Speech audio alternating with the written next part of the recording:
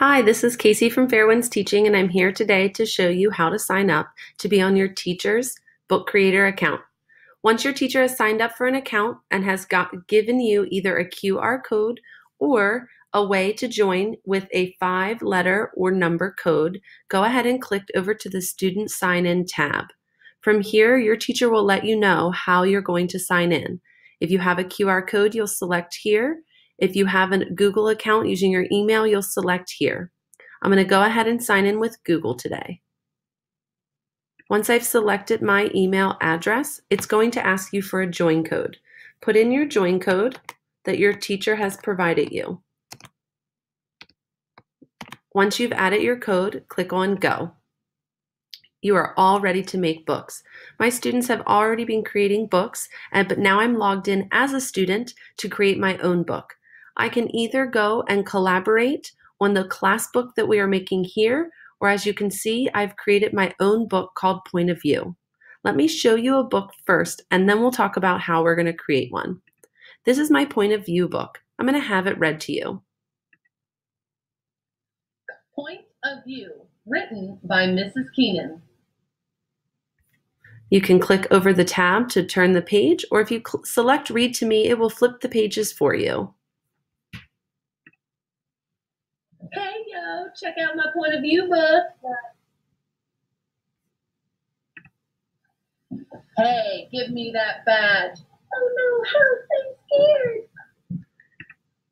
As you can see, you can record your own voice or you can have the um, computer read it for you if you don't want to record your own voice.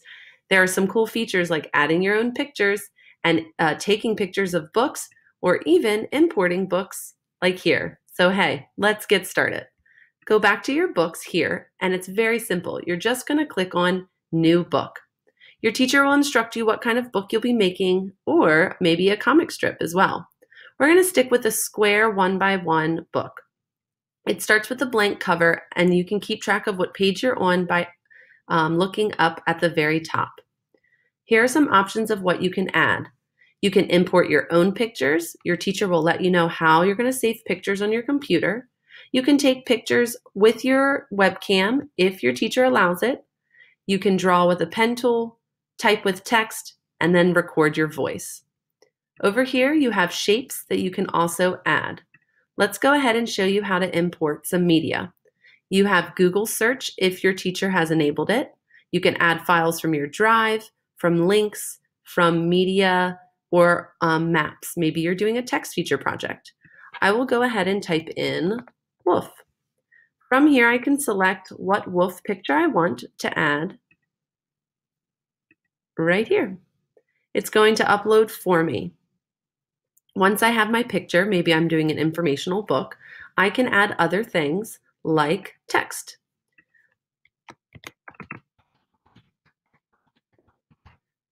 You have the option to make it bold, underlined, or even link this text live. You can also record your voice here that says My Wolf Project. I'm going to click on Done. It always imports as plain text here, but if you go over to the little eye icon, you'll be able to edit your text. You can make your text bigger, you can center it, bold it, change the font. There are lots of different fonts for you to choose from. The back button will allow you to change the color or to add your own color. You can add a shadow. You can move it to the front if you want it in front of your picture, or you can move it to the back if you want it to be behind. If you don't like the text, you also have the option to delete it. You also can edit your page. Maybe I want the background of my page to be purple. You also have some really cool borders or pages that you can add. I really like the text under comics. You have patterns and textures, lots of different options, so get to exploring. Once you're done and satisfied with this page, you can go ahead and click the next button. It'll add your page two of three. Once you get to three, you can keep on adding. You can have as many pages as you like. Again, you can go up here, add pen, and you can add your drawing.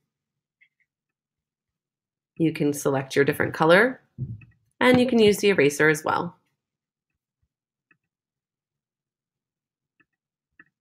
Maybe I want to add my voice over top. You'll always have to allow your microphone and please talk to your teacher before. Once you're ready to start recording, you click Start Recording. This is my informational project about a wolf. I want to use this recording, it'll add a little button. You can make it smaller, you can make it bigger, and you can add it to where you want it on the page. This is my informational project about a wolf. Then you can listen to it there. So again, you can take your own pictures, you can add text, you can record, add shapes. Maybe you want to make your wolf say something. So I can go add, shape, and I can make him say my wolf project. So all I have to do, shrink it here. And then I want to move this text in front. So again, I'm going to go here, move to front, and now you have your wolf saying my wolf project. Again, let's go ahead and record some sound. My wolf project. Let's use this recording. Then I can add my little sound bite right here. My wolf project it automatically saves for you and your teacher is able to monitor everything you're doing while you're doing it. You can go back here and you can see all the books that you've created. I hope you've learned something and I hope you enjoy making and using Book Creator.